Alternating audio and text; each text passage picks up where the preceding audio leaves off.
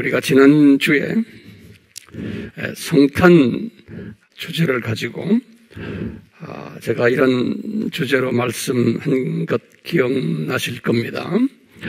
매일매일이 성탄일이다. 1년 365일이 성탄일이다. 라는 주제로 말씀드리면서 12월 25일 하루만이 성탄 일이 아니다. 라는 말씀을 드렸죠. 그런데 성령님께서는 성서를 통해서 성탄일만 날짜를 주질 않으셨어요. 예수님의 죽으시는 날, 6월절 날짜 주셨어요. 부활하시는 초실절 날짜 주셨어요. 그리고 승천하시는 그날도 날짜를 주셨어요. 그런데 탄생은 왜 날짜를 안 주셨나? 여기에 대한 주님의 가르침을 우리가 지난주에 공부했어요. 그러면 오늘은 이렇게 탄생하신 예수님, 이분이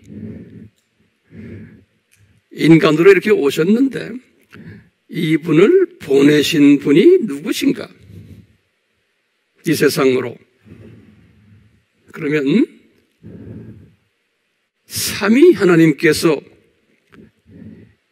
예수님을 이 세상으로 보내신 거예요.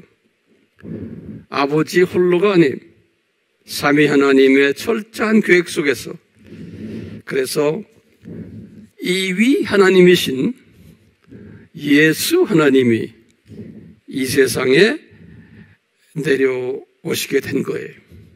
그렇기 때문에 우리는 이 삼위 하나님이 상당히 중요한 아, 하나님이심을 우리는 알고 있어야 돼요. 삼위 하나님이. 이 기독교에서는 이 삼위 하나님에 관한 이야기가 성서 전체에 흘러가고 있어요. 그런데 성서에서 이 삼위 하나님이라는 요 이름이 어디에 나오냐면 성서 첫 절에 나와요. 창세기 1장 1절에. 그 하나님을 우리 한국말로는 하나님이 천지를 창조하셨다. 이렇게 한국말로는 되어 있어요. 그렇기 때문에 우리에게는 그렇게 그 feeling이 오질 않아요. 그 하나님이 누군지를.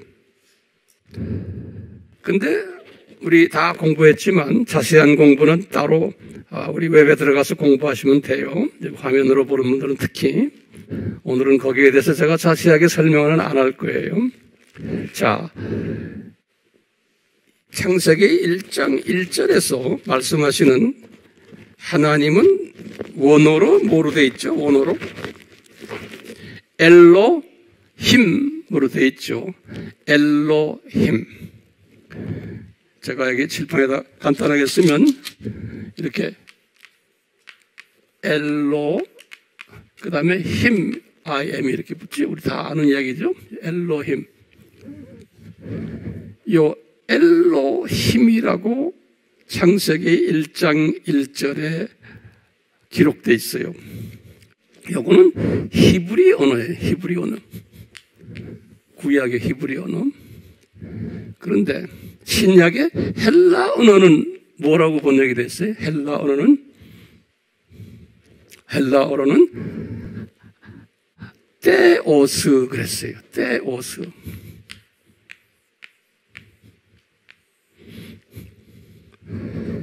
영어로는 이걸 어떻게 번역했어요?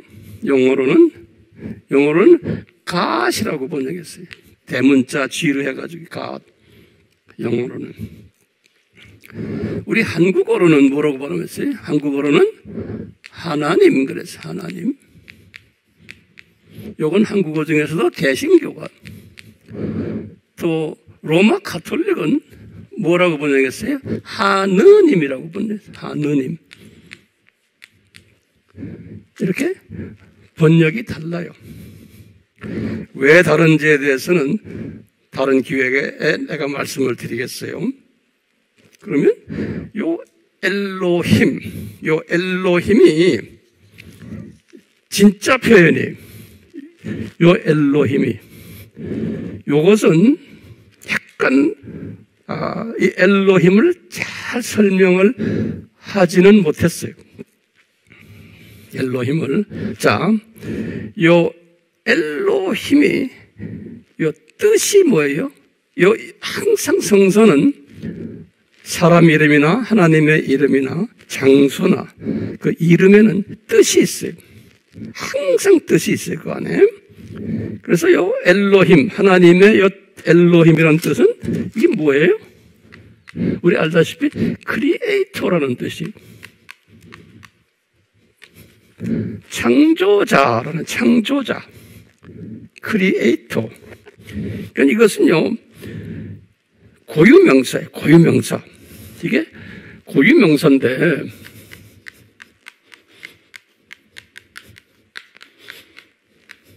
그래서 앞에는 항상 the가 붙어요. 영어에서는 그래서 the를 붙여놨어요. 더 크리에이터. C도 대문자 C로 강조를 했어요. 그렇기 때문에 저 이름 속에는 우리 에베소서 3장 18절에 바울이 이런 말을 했어요. 하나님의 사랑의 크기가 얼마나 깊고 얼마나 넓고 얼마나 높고 그리고 얼마나 길고 이렇게 표현했어요. 그것을 알아야 된다. 똑같은 개념으로 이 Creator라는 그 이름 속에는 엘로힘이라는 그 이름 속에는 하나님의 그 창조의 그 목적이 얼마나 크고 깊고 길고 넓고 그 의미가 그 이름 속에 담겨 있는 거예요. 또 엘로힘이라는 예. 그 속에 다 깊이 담겨 있기 때문에 오늘은 다는 보지 못하지만 그 일부를 우리가 한번 들여다 보려고 그래요. 네. 근데 이 엘로힘이라는 요 단순 그 이름은 이 original language, 히브리 language를 보면요. 우리 알다시피 이게 복수로 돼 있어요. 이게 복수예요. 이게 복수. 어떻게 복수되어 있는 거 우리 다 알죠? 엘로라는 요, 요, 요 뜻이 요게 가시란 뜻이에요. 단절. 임이라고 딱 붙으면 요건, 요건 복수 영어로는 S. 복수 전미사예요. I am이. 그래서 엘로힘을 문자적으로 이렇게 보면은 복수 하나님으로 되어 있어요. 그렇기 때문에 우리가 직역을 하면은 가츠라고 해야 돼요. 직역하면 요거요. 가츠라고 해야 되는데 성경은 가츠라고 하질 않아요. 가 내용상은 안에 들어있는 내용은 복수 명사인데 항상 단수로 생각해요. 우리 공부 많이 했죠? 여기에 대해서 알고 싶은 사람은 다시 공부하시면 돼요. 그렇기 때문에 주어가 복수 모양인데도 항상 단수로 생각하기 때문에 동사를 단수 동사 받아요. 그러니까 이게 문법적으로 맞지가 않는 거예요. 문법에서는 복수 명사면은 복수 주어면은 동사가 복수 동사를 받아야 되잖아요. 다른 말로 표현하면 Gods를 복수니까 Gods are good 이렇게 해야 되는 거예요. 근데 성서에서는 Gods are good이라는 말이 없어요. Always God 이 안에 이게 복수 내용이 들어있는데도 is good 그랬어요. 항상 단수로.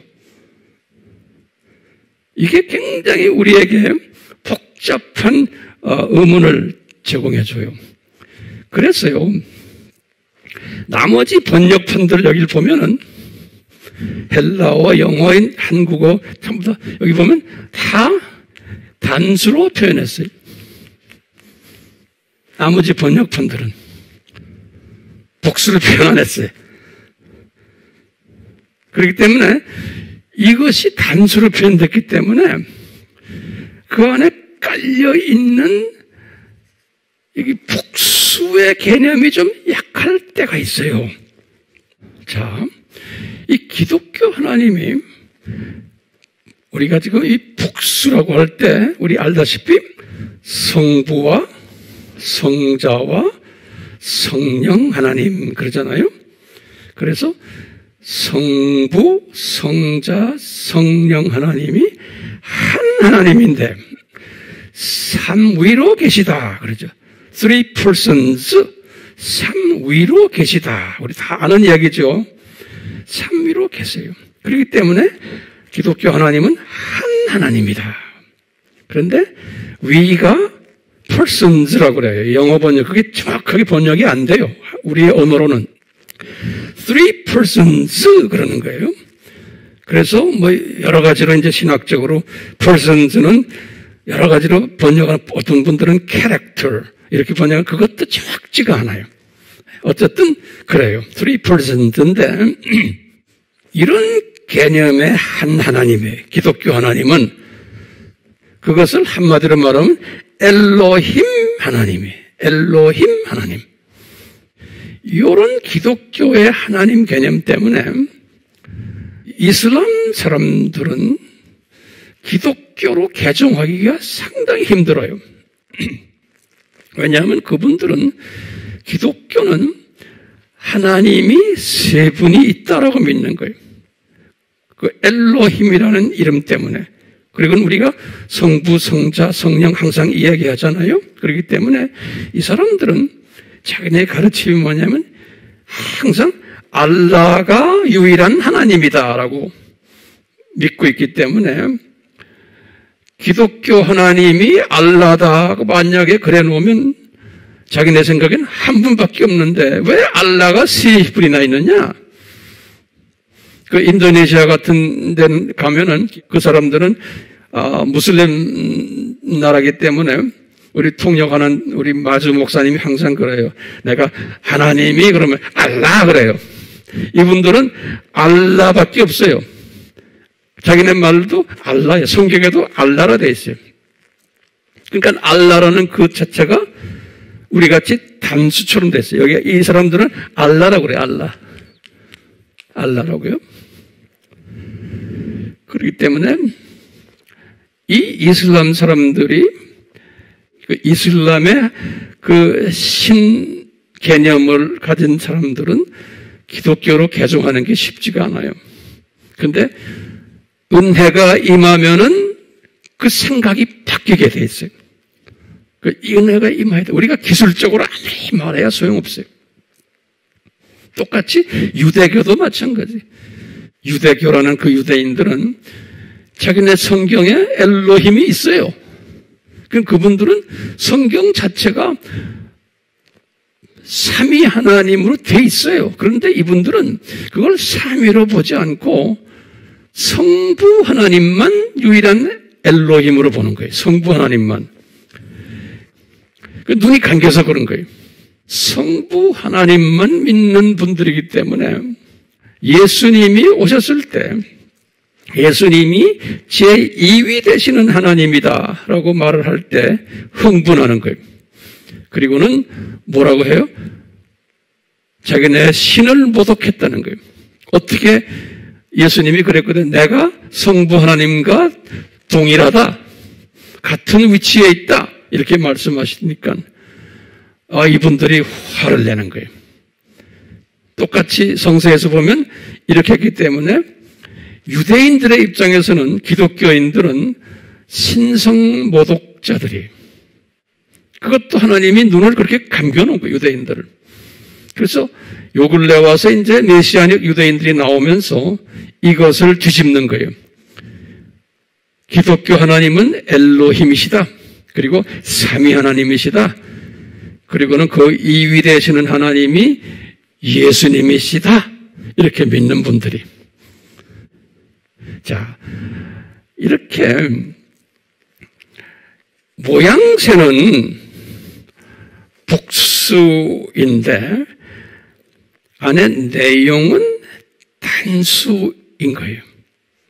그러니까 한 분의 하나님 안에 삼위가 존재한다.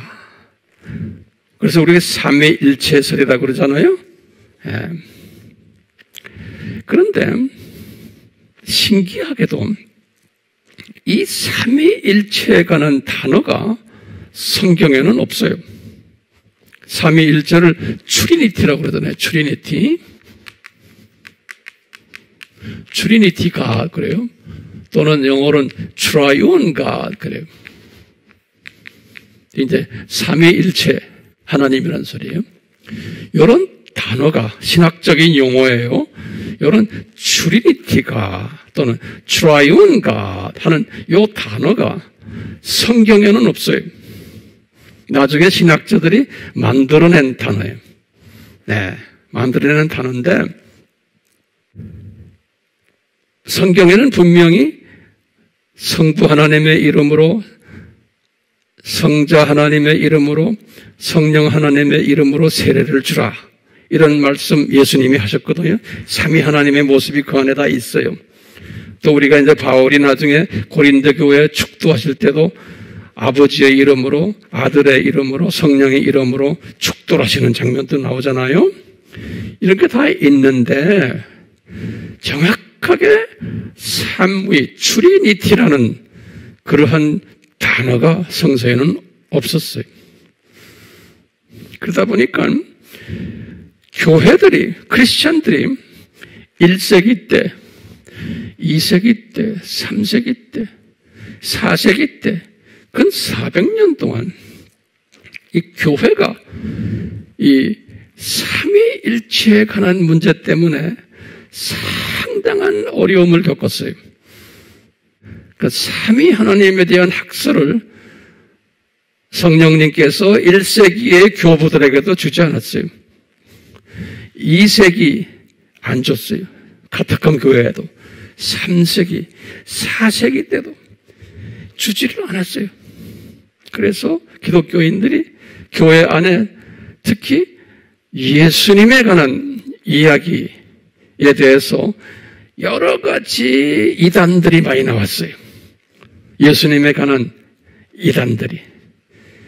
아, 웹에 들어가서 공부하시면 돼요. 잘 모르는 분들은. 그리고는 약 200년 들어와서요. 주후 200년 정도 됐을 때, 한, 아주 똑똑한 한 분이 나왔어요. 그분이 누구냐면, 사벨리우스라고 그래요. 이분이 215년에 죽었는데, 사벨리우스라는 사람이 와가, 나와가지고, 이 사람에게 소위 우리가 말하는 양태론이라고 그래요. 양태론.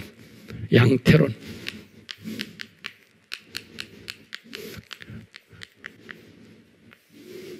양태론이라고 해요. 사벨리우스라고 그래요. 사벨리우스. 그 그냥 그냥 참고로 하세요. 사벨 그 사벨리안리즘이라고 그래요. 신학적으로요. 굉장히 성령님께서 이분에게 지혜를 주신 거예요. 근데 이게 온전한 지혜는 아니었지만 하나님께서 그렇게 하신 거예요. 발전적으로. 이분이 뭐냐면 오래간만에 삼위 하나님에 관한 개념을 이분이 정돈을 받았어요. 어떻게 정돈 받았냐? 한 하나님이신데 어떤 때는 성부 역할도 하시고 어떤 때는 성자 역할도 하시고 어떤 때는 성령 역할도 하신다. 그러니까 엄밀한 의미는 한 위예요. 한 위인데 이한 위가 상황에 따라서 역할을 그렇게 세 부분으로 하신다라고까지 아이디어를 만들어냈어요. 그러니까 많은 사람들이 그때 조금 눈이 뜨기 시작한 거예요. 아, 삼위 하나님이 이렇게 역사하시는구나. 이 사상이 오늘날까지도 어, 전 세계에 퍼져 있어요. 우리나라에도 기독교 안에 요 사상 가진 분들이 많아요. 다른 나라가도 마찬가지. 자, 이걸 무슨 논이라고 그랬어요? 양태론이라고 그래요. 양태론. 이런 사상을 가졌는데 그것도 성령님께서 이제는 이것도 아니다. 이제 주 300년에 가서 313년에 기독교가 공인됐죠. 예, 기독교가 공인이 되면서 이제 그 당시에 이제 교회들이 큰 교회들이 애굽에는 애굽 정교회가 있었고 예루살렘 교회가 있었고 이스라엘에는 또 시리아에는 안디옥 교회가 있었고 그리스에는 컨스탄틴노플 교회가 있었고 저기 로마에는 무슨 교회? 로마 카톨릭이 있었던 거예요. 이 5대 교구라고 그래요. 5대 교구. 이 지도자들이 우리가 이 기독교 하나님에 대해서 이렇게 다양한 이야기들이 나오는데 그걸 좀 정리 좀 하자. 그래서 이제 니케아에서 공회를 했어요. 325년에. 이때 이제 우리 잘 아는 기독론을 어느 정도 정돈했지만 온전치는 않아요. 그러면서 이제 381년에 컨스탄티노플에서 공회를 했는데 여기에서 삼위일체를 어느 정도 정리했어요. 그래서 아주 중요한 거예요. 381년에 갑보도기야 삼인이라고 세살 갑보도기야 있는 신학자 세 사람이 대표가 돼가지고 그분들이 연구를 해가지고 만든 게 삼위일체론을 만들었어요. 그리고는 431년에 에베소 공회를 하고 그리고는 451년에 칼케톤 공회라 그러죠. 그래서 우리 항상 이야기하잖아요. 칼케톤 공회가 451년이 굉장히 중요해요. 왜냐하면 이때 예수님의 100% 신성, 예수님의 100% 인성, 그리고는 삼위일체론 이것이 정돈이 됐어요.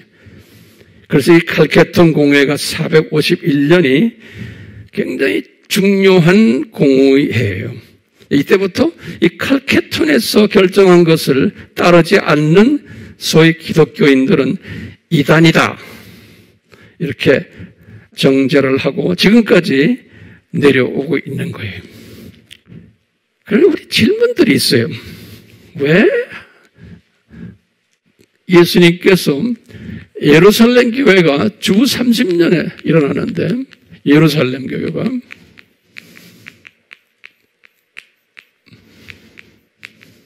그리고 지금 451년까지 이 칼케톤이에요.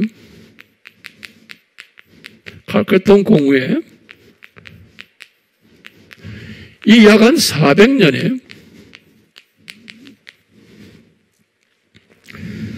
400년 동안까지 긴 시간이에요. 왜? 이 삼위일체, 이 엘로힘이라는 엘로힘이라는 단어는 뜻이 창조자라는 뜻이죠. 창조자 하나님의. 그리고는 엘로힘은 요 안에 여기 삼위일체가 들어있어요.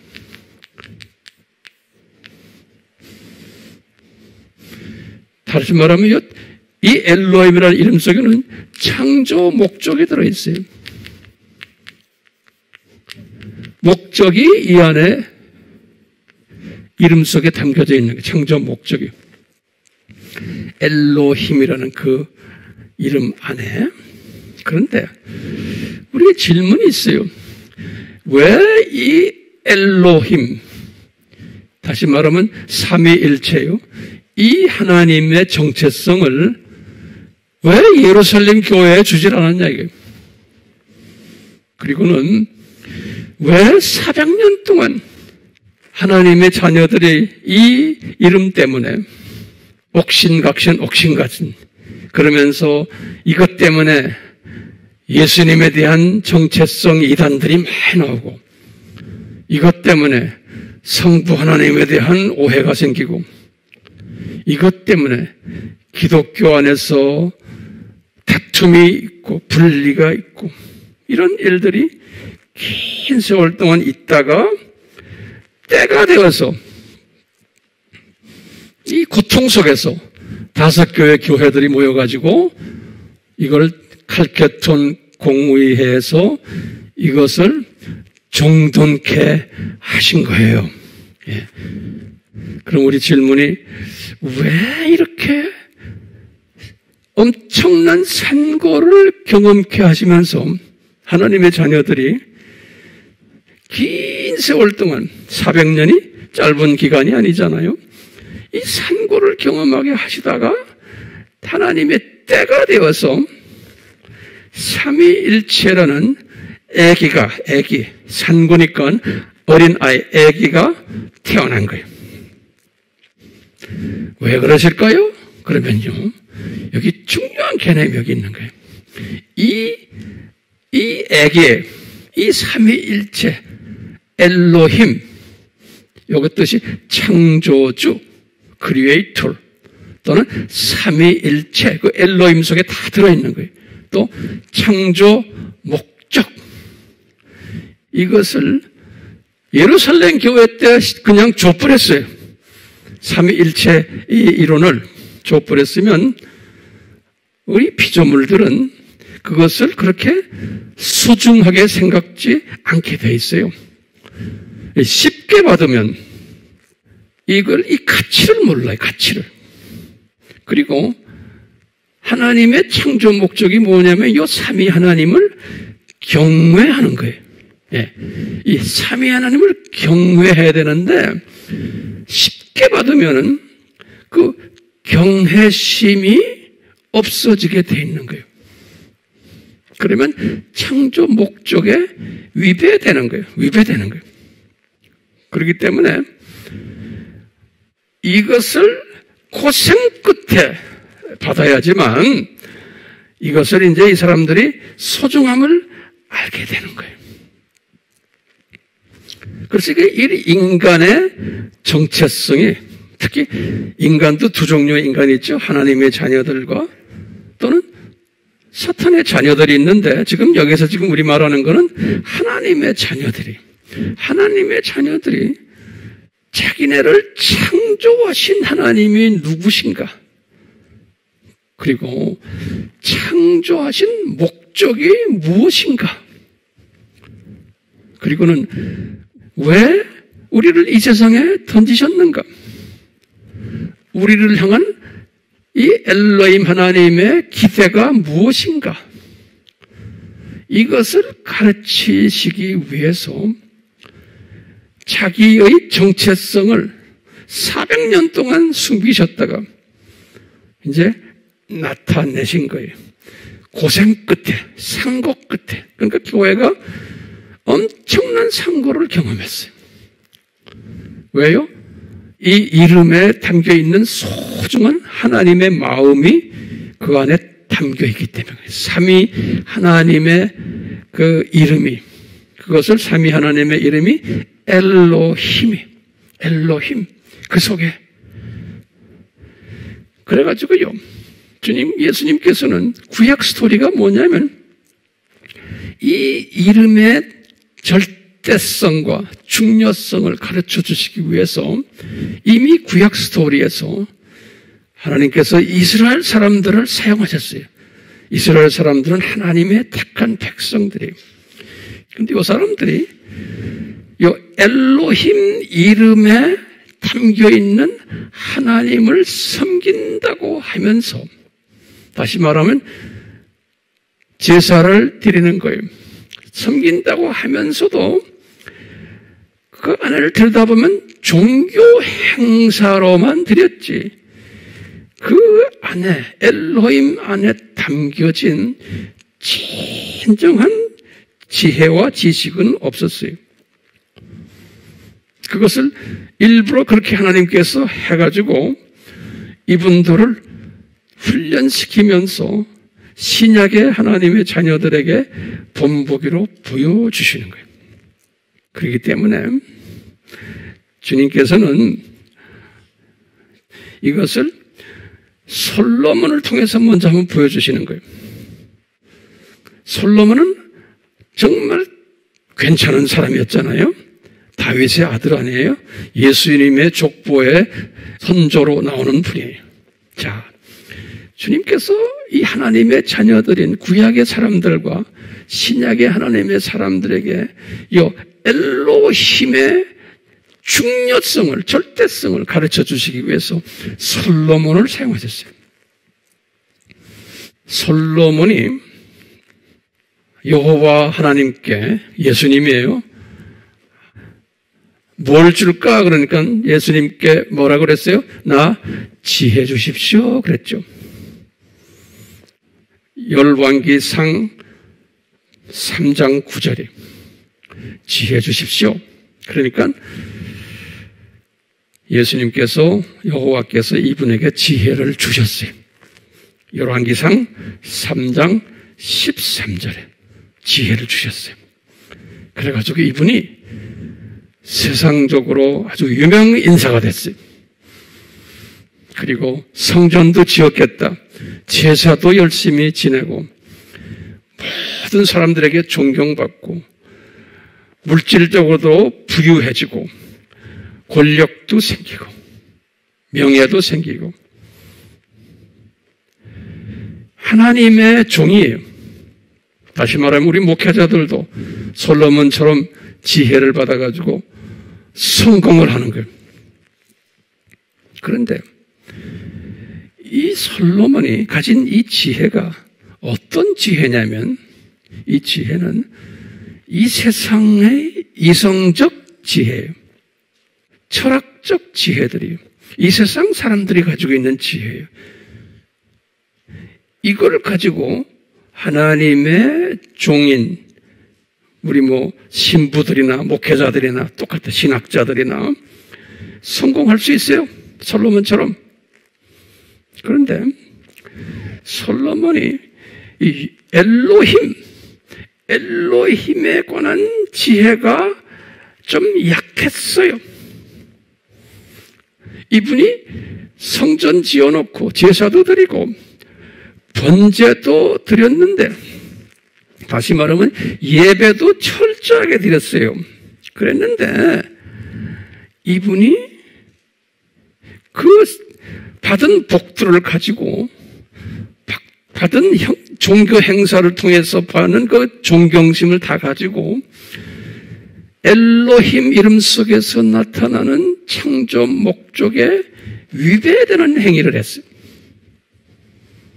우리 다 알다시피 바벨론 종교를 아, 하나님과 같이 섬기고 이방 여자들을 마누라를 삼은 게 약 천 명 가까이 되죠. 이렇게 이분이 이 엘로힘 이름에는 지혜가 약했어요. 엘로힘 이름에는. 그러니까 하나님의 주시는 지혜는 뭐냐면 삼위일체의 엘로힘의 깊은 넓은 높은 긴 아는 것 지식을 가지는 거예요. 예. 그것이 다른 바로 말로 표현하면 여호와를 삼위 하나님을 경외하는 거예요. 예. 이것이 지혜의 근본이 호세아서 4장 6절 또는 호세아서 6장 6절 또는 시편의 111편 10절 다시 말하면 엘로힘에 대해서 철저하게 알고 그분의 창조 목적에 충실하고 하는 것이 지혜의 근본이라는 거예요. 자, 솔로몬이 세상적인, 이성적인, 철학적인 지혜를 받았어요. 그래서 성공했어요. 또 이분은 하나님을 섬기는 종이기 때문에 예배도 열심히 드렸어요. 그런데 솔로몬이 하나님을 아는 지혜가 약했어요. 그래서 이분이 나중에 남북이 갈라질 경고까지 받은 거예요. 우상을 섬겼기 때문에. 그러니까 세상 지식은 있었는데 하나님의 종인 신학자가 목사가 신부가 추기경이 이 엘로힘에 약했던 거예요. 다시 말하면 하나님을 경외하는 것. 삼위 하나님을 경외하는 거예요. 창조 목적이에요. 여기에 약했어요. 그래서 경고를 받은 거예요. 그것 때문에 결론은 어떻게 됐어요? 남북이 갈라지게 된 거예요. 그 남북이 것. 그 이야기가 열왕기상 11장 41절에 있어요. 네가 이런 짓 했기 때문에 남북이 갈라진다는 거예요. 열왕기상 11장 41절. 솔로몬이 고민했어요. 자기도 모르게 지금 여기까지 온 거예요. 그렇죠? 그러니까 솔로몬이 죽기 전에 성령님이 솔로몬을 회개케 하시는 거예요. 이분은 하나님의 예수님의 성육신하는 도구로 사용받는 분 아니에요. 그렇기 때문에 이 훈련을 시킨 후에 솔로몬이 회개케 하시는 거예요. 그래가지고 솔로몬이 회개한 후에 그분에게 지혜를 부어주시면서 자문을 쓰게 하는 거예요. 그리고는 전도서를 쓰게 하는 거예요. 그 자문과 전도서는 회복받은 후에 쓰신 말씀이에요. 솔로몬의 경험을 다 한 후에. 그래서 솔로몬이 무엇을 깨달았나? 이제 여호와를 경외하는 지혜를 이제 전수받은 거예요. 이 말은 엘로힘이 누구신가? 왜 엘로힘이신가? 창조 목적이 그 엘로힘 속에 숨겨져 있는 거예요. 그건 하나님의 자녀들이 창조 목적을 훈련받는 일을 하기 위해서 이 세상에 지금 내려온 거예요. 그래서 이제 솔로몬이 이 창조 목적의 중요함을 깨닫고 아, 자기가 가졌던 이 지혜가 예전 지혜가 이것은 크리스천이지만 필요하지만 이것 때문에 내가 성공을 하면은 내가 이렇게 되는구나. 그러니까 이런 세상 지혜도 많이 필요하지만 거기에다가 하나님을 여호와를 삼위 하나님을 아는 지혜로 옷 입혀져야 되는 거예요. 두 지혜가 필요한 거예요. 그래서 이분이 전도서에서 뭐라고 그런지 아세요? 우리 잘 아는 헛되고 헛되고 한두 번이 아니에요. 다섯 번 헛되고 헛되고 헛되고 헛되니 모든 것이 헛되다는 거예요. 사람이 해 아래 하는 모든 수고가 다 헛되다는 거예요. 왜냐? 이것은 지금 세상 사람들을 보고 이야기하는 게 아니에요. 하나님의 백성들아. 세상 지혜만 가지고는 안 된다는 거예요. 왜냐하면 이 전도서 1장 2절과 3절에 이렇게 헛되고 헛되고 헛되다고 시작해. 전도서 시작이 그래요. 그리고는 우리 잘 아는 전도서 3장 3장 전체가 그랬지만 특히 3장 21절에 보시면 그랬어요. 이 솔로몬이 깨달은 거예요. 솔로몬이 이제는 새로운 지혜를 찾, 이제 가지고는 아하 크리스천들은 죽으면은 낙원에 가는구나. 그런데 비기독교인들은 죽으면은 땅속 음부로 내려가는구나. 이걸 깨달은 거예요. 전도서 3장 21절에. 예. 그러면서, 아하, 자기도 세상 지혜만 가지고 있을 때 하고, 지금 내가 진정한 엘로힘을 깨달은 이 지혜를 가지는 것도 이것이 내 잘못과 잘 잘못이 아니고 하나님의 때가 있구나. 이것을 깨달은 거예요. 그래서 그 유명한 전도서 3장에 3장 1절부터 그렇죠. 모든 것이 시기와 때가 있구나. 그리고는 떠날 때도 있고 태어날 때도 있고 죽을 때도 있고 울 때도 있고 웃을 때도 있고 사랑할 때도 있고 미워할 때도 있고 전쟁할 때도 있고 평화할 때도 있구나. 이 창조자 예수님 장중에서 모든 사람이 이런 때를 따라서 살고 있구나. 특히 지금 우리는 기독교인들 상대로 이야기하는 거예요. 이, 이 자문이나 이 전도서는 다 하나님의 자녀들을 향해서 이야기하는 거예요. 이제 이분이 깨달은 거예요. 그 깨달은 것을 자문에는 아주 자세하게 적어놨어요. 자문 전체가 무슨 얘기인지 아세요? 여러분들 나같이 세상주의에다가 이제는 하나님을 아는 하나님을 그냥 아는 게 아니에요. 경외하는 다시 말하면 창조 목적이에요. 삼위 하나님을 경외하는 그 자가 진정으로 지식이 있고 지혜가 있는 자라는 거예요. 잠언 1장 7절에.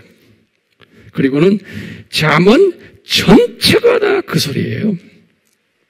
다시 말하면 엘로힘이 누군가를 알게 되면은 그 엘로힘을 경외하게 된다는 거예요. 이것은 뭐예요? 창조 목적인 거예요. 창조 목적이 뭐예요? 삼위 하나님을 또 예수 하나님을 성령 하나님을 성부 하나님을 경외하는 거. Fear of the Lord 그랬어요. 경외한다. 이것이 그 엘로힘이라는 이름 속에 들어 있는 거예요. 네. 그리고는 솔로몬 일 있은 후에 남북에 갈라진 후에 또 하나님의 자녀들을 사용하셔가지고 요 창조 목적 엘로힘을 경외하지 않은 하나님의 자녀들의 역사 속에서 또 이것을 가르쳐 주시는 거예요. 하나님의 자녀인데 경외를 하지 않는 거예요. 예배만 드리지. 이 지식이 없는 거예요. 그러니까 이 지식 가지는 것이 무엇보다 제사를 드리는 것보다 낫다고 그런 거예요. 예. 호세아서 6장 6절에 여호와를 아는 지식, 여호와를 안다는 말은 엘로힘을 아는 지식이라고 봐도 돼. 여호와는 예수님거든요. 삼위 하나님을 아는 것이 제사보다 낫다고 말하는 게 호세아에게 6장 6절에 호세아는 어떤 환경 속에서 이런 말을 했냐면 이스라엘 하나님의 자녀들이 722년에 아수르에게 패망했어. 또 586에 586년에 바벨론에 의해서 패망했어. 이 모든 것이 왜 그런지 아느냐 하고 이스라엘 사람들에게 이사야도 똑같은 이야기하고 호세아도 그렇고 다 이런 이야기해요. 왜 그런지 아느냐? 그러면서 뭐냐? 너희들이 지식이 없어서 망했구나 그러는 거예요. 지식이 없어서 그러면 우리가 보통 말하면 아 성경 공부를 안 해서 이 수준이 아니에요. 우린 보통 어느 지식이에요? 여호와를 경외하는 거예요. 여호와는 예수님의 예수님을 경외한다는 것은 성부 하나님을 경외하는 것이고 성령 하나님을 경외하는 거예요. 삼위 하나님을 경외하는 것이 참 지식이고 참 지혜라는 거예요. 호세아서 4장 1절, 6절, 호세아서 6장 6절 전부 그런 말이에요. 네. 그러니까 오늘 제가 말씀드리는 주제가 뭐예요? 기독교 하나님은 무슨 하나님이에요? 네? 엘로힘이시다. 이 말은 우리는 어떻게 해야 된다는 소리예요? 우리는 이 엘로힘을 경외해야 되는 거예요. 이 경외. 그러니까 이 엘로힘을 경외하려면 묵상을 매일 해야 되는 거예요. 지식으로만 우리가 엘로힘 가지고 있어야 소용없어요. 이 엘로힘을 항상 묵상하는 거예요. 그러니까 감사한 것은 솔로몬을 통해서 우리에게 이것을 가르쳐 주시고 이스라엘 사람들을 통해서 이 진리를 우리에게 가르쳐 주신 거예요. 그러니까 이 고마움이 솔로몬이나 이스라엘 사람들에게 엄청난 거예요. 그분들을 도구로 사용하신 거예요. 이 사람들. 이 사람들을 통해서. 자, 그렇기 때문에 우리는 이 사람들을 통해서 우리에게 가르쳐 주신 요 엘로힘을 경외하는 지식을 쌓아야 되는 거예요. 그런데 이 지식, 이 지식이 쌓여지면 지혜가 생겨나는 거예요. 바울이 은혜로 남은 자가 되어가지고 로마서 11장 5절에 이 여호와를 경외하는 이런 마음을 가지게 된 거예요. 그 많은 대부분의 이스라엘 사람들이 그렇지 않았어요. 똑같이 대부분의 신약의 기독교인들이 그 이것을 잘 못하게 디자인해 놨어요. 그런데 오늘날 특히 하나님이 사랑하는 자들이 이마에 인받은 자들이 이마에 인받은 사람들은 은혜로 이 여호와를 우리가 여호와하면 예수님이에요. 예수님을 경외하는 지혜자로 성령님이 이끄세요. 아무리 성경 공부를 많이 해야 소용없어요. 그러니까 이 여호와를 경외한다는 것은 이 여호와를 최우선으로 섬기는 사람들이 먼저 그 나라와 그 의를 구하는 자들이 이것은 아무나 못해요. 세상 일 다 하고 하나님 자녀들 대부분의 하나님 자녀들은 다 그래요. 예수님 섬기는 것을 두 번째, 세 번째 우선 순위로 하는 사람들 엄청나게 많아요. 그럼 다 하나님의 자녀들이. 그런데 하나님이 이 특 별히 사용하시는 사람들은 그런 경험을 솔로몬처럼 하게 한 다음에 그것을 솔로몬처럼 회개케 하시고 새로운 지혜를 부여받도록 이끄세요. 구약의 이 남은 자들, 이스라엘의 남은 자들, 신약에 와서 2000년 기독교 역사 속에서의 이런 남은 자들이 상당히 많아요. 예. 그렇기 때문에 우리는 지금 오늘날 이 시대에 이런 지혜자가 되어야 되는데 지혜자가 되려면 어떻게 해야 돼요? 여호와를 경외해야 되는 거예요. 그건 이분이 내 삶의 우선이 되어야 되는 거예요. 그러면 다시 말하면 우상을 섬기지 말아야 되는 거예요. 그렇기 때문에 이런 사람은 주님의 일에만 집중돼서 주님을 섬기면은 예수님께서 그랬죠. 가족들도 내가 책임질게. 뭐 건강도 책임질게. 다 하는 거예요. 근데 이 솔로몬이 깨달은 거예요. 솔로몬이요. 자문에서 그랬어요. 이렇게 우선순위를 바꿔보니까 영적 분별력이 나에게 주어지네? 그러는 거예요. 잠언 3장 13절에서. 그러면서 또 뭐라고 그러냐면, 잠언 3장 2절에서 뭐라고 그러냐면, 이런 사람을 장숙해 한다라고 그러는 거지. 오래 살게 한다는 거예요. 이 세상에서. 이 세상에서 오래 사는 사람들 많아요. 예수 안 믿어도 오래 사는 사람 많아요. 또 적당히 예수를 믿어도 오래 사는 사람 많아요. 그런데 요 솔로몬처럼 깨닫고 지혜자가 된 오래 사는 사람은 무엇 때문에 오래 살게 하세요? 요 메시지를 나팔 불고 전하라고 오래 살게 하시는 거예요. 그러니까 삶이 오래 살면서 더 윤택하고 더 삶이 보람있고 삶이 기쁘고 소망으로 가득 찬 장수의 삶을 살 수 있는 거예요. 그냥 장수가 아니에요.